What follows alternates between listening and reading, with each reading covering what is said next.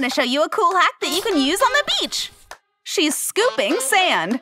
But why? And why did Avery bring a kitchen spoon to the beach?